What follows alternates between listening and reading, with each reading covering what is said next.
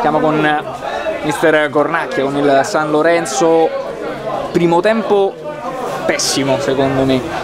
due gol presi un po' in maniera stupida, forse il primo c'era fuori gioco, nel secondo tempo avete fatto vedere cosa sapete fare, insomma, per la salvezza ci siete ancora. E ci stiamo provando in tutti i modi. Oggi avevamo grossi problemi di formazione per via di alcune problematiche di infortuni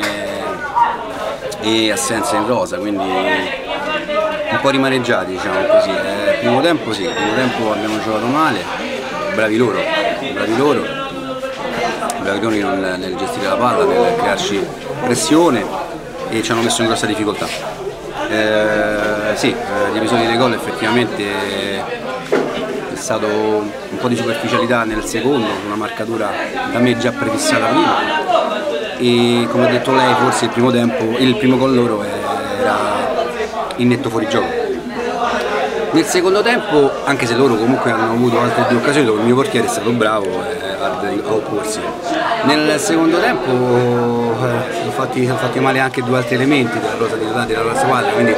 ho dovuto ricorrere un po' di alchimie per poter eh, cercare di, di, di, stare in campo e i ragazzi hanno avuto l'orgoglio di, insomma, di, di rendere cara la pelle. Ciò che facciamo eh, da diverso tempo, forse come ha detto lei anche i punti non ci vengono, non ci vengono un po' per sfortuna, un po' per alcune superficialità che abbiamo, non meritiamo secondo me l'attuale la, classifica purtroppo per quello che facciamo vedere in campo. Eh,